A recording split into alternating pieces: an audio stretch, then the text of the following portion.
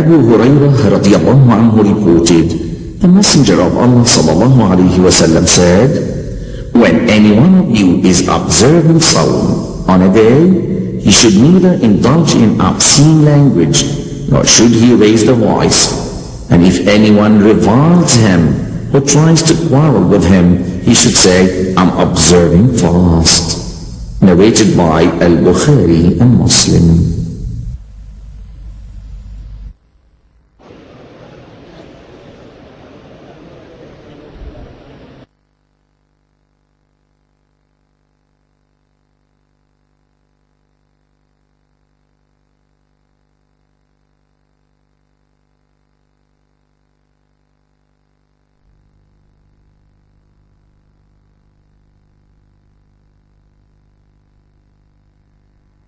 Abdullah ibn Abbas radiallahu anhuma reported that the Messenger of Allah sallallahu said that Allah the Glorious said, Verily Allah Ta'ala has ordered that the good and the bad deeds be written down.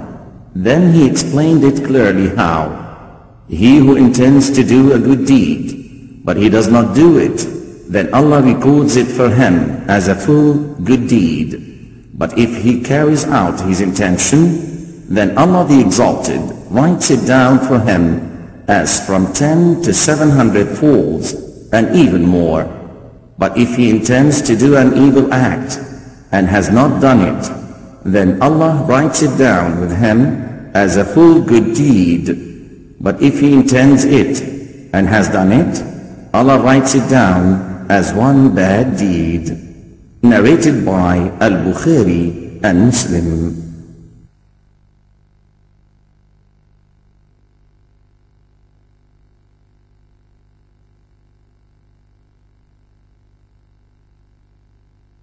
Abu Musa al-Ash'ari radiallahu anhu reported that the Prophet sallallahu alayhi wasallam said, Allah the Exalted will continue to stretch out his hand in the night so that the sinners of the day may repent and continue to stretch his hand in the daytime so that the sinners of the night may repent until the sun rises from the west. Narrated by Muslim.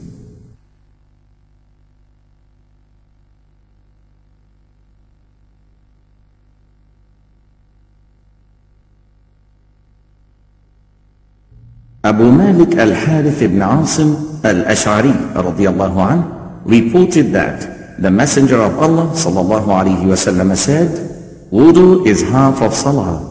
The utterance of Alhamdulillah, all praise belongs to Allah, fills the scales. The utterance of Subhanallah walhamdulillah, Allah is far removed from every imperfection and all praise belongs to Allah fills the space between the heavens and the earth. And salah, prayer, is light. And charity is the proof of faith. And endurance is light. And the Quran is a plea in your favor or against you. Every person departs. He either ransoms it or puts it into perdition. Narrated by Muslim.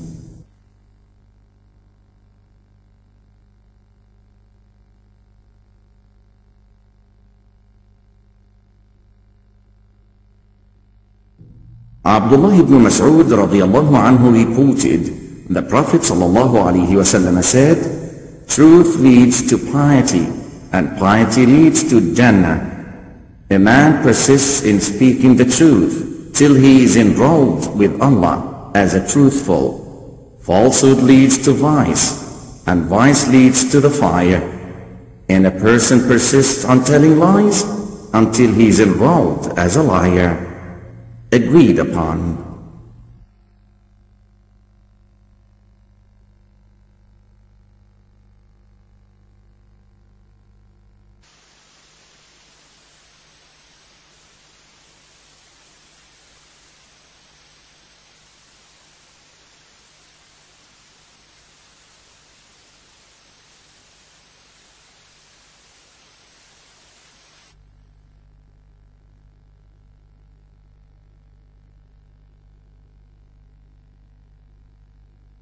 Abu Hurairah radiallahu anhu reported that the Messenger of Allah sallallahu alayhi wasallam said, A strong believer is better and dearer to Allah than a weak one, and both are good.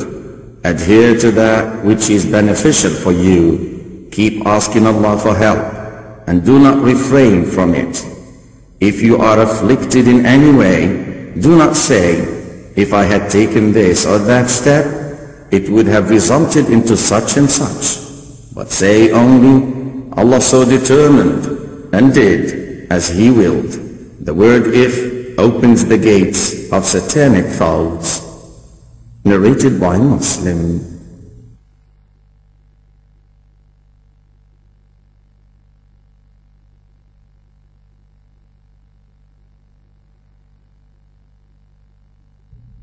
Anas radiallahu anhu reported, the Prophet said, No one of you becomes a true believer until he likes for his brother what he likes for himself. Al-Bukhari and Muslim.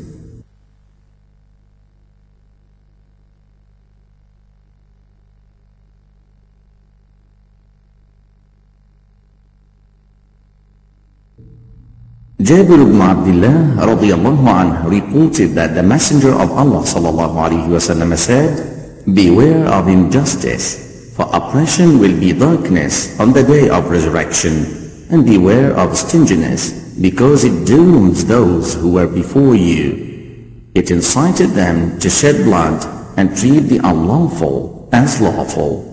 Narrated by Muslim.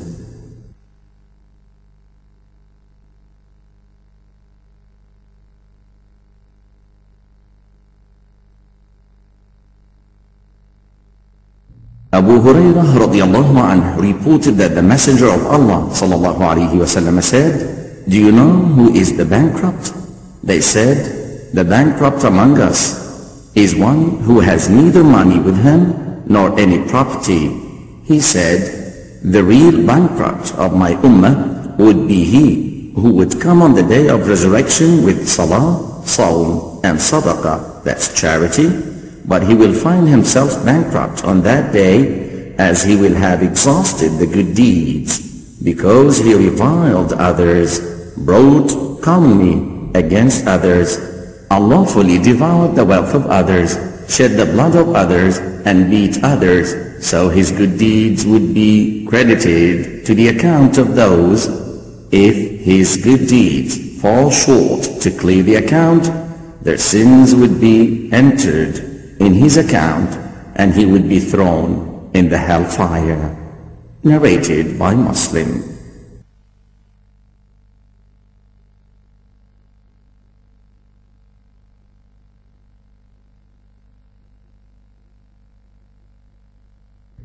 Umm Salama radiallahu anha reported that the Messenger of Allah sallallahu alayhi wasallam said, Verily I'm only a human, and the claimants bring to me Perhaps some of them are more eloquent than others.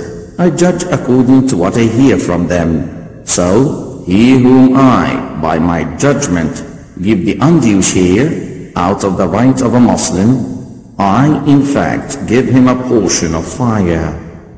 Narrated by Al-Bukhari and Muslim.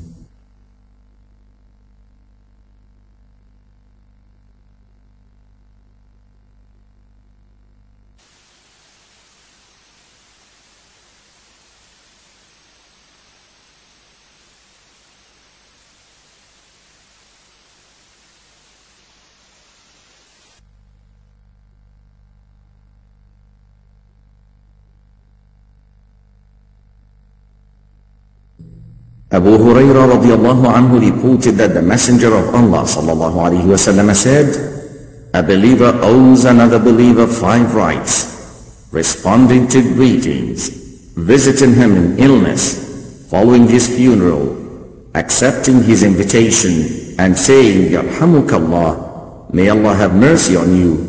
When he says, Alhamdulillah, praise be to Allah, after sneezing. Al-Bukhari and Muslim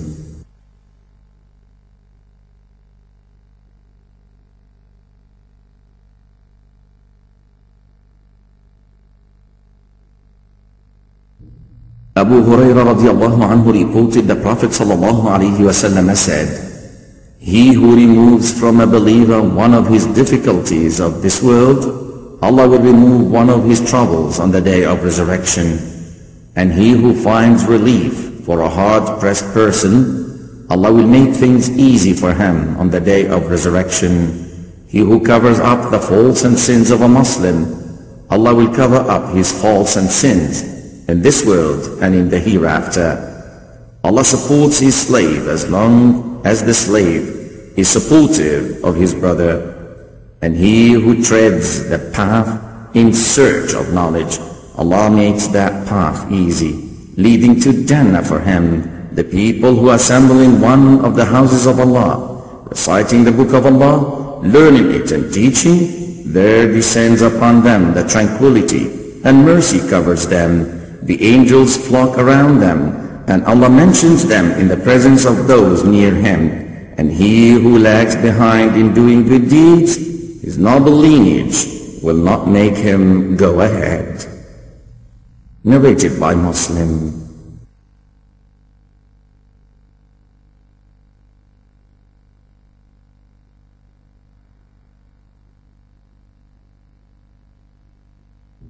Abu Shuraih al-Khuza'i radiallahu anhu reported, the Prophet said, He who believes in Allah and the last day, let him be kind to his neighbor. And he who believes in Allah and the last day, let him show hospitality to his guest. And he who believes in Allah and the last day, let him either speak good or remain silent. Narrated by Muslim.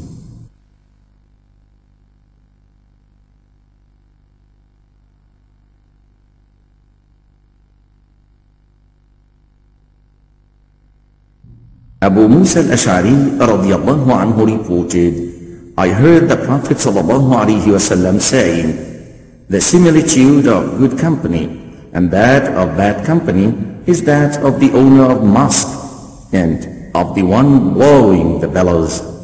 The owner of musk would either offer you some free of charge, or you would buy it from him, or you smell its pleasant fragrance.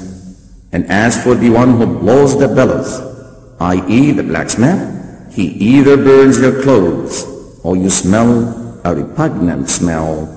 Narrated by Al-Bukhari and Muslim.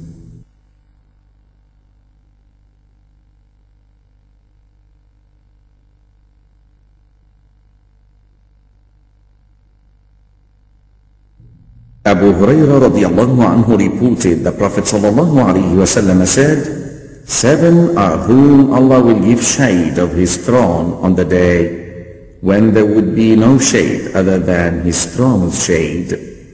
A just ruler, a youth who grew up worshipping Allah, a man whose heart is attached to mosques, to persons who love and meet each other and depart from each other for the sake of Allah, a man whom an extremely beautiful woman seduces, but he rejects this offer by saying, I fear Allah. A man who gives in charity and conceals it, that the left hand does not know what the right has given, and a person who remembers Allah in solitude and his eyes well up. Narrated by Al-Bukhari and Muslim.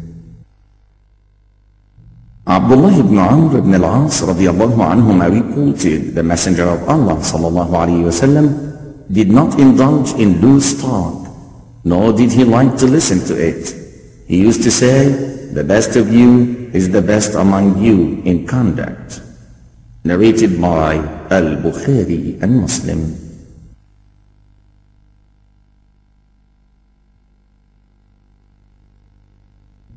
Abu Darda radiallahu anhu reported, the Prophet sallallahu wasallam said, Nothing would be heavier on the day of resurrection in the scale of the believer than good manners. Allah hates one who utters foul or coarse language. Narrated by At-Tirmidhi.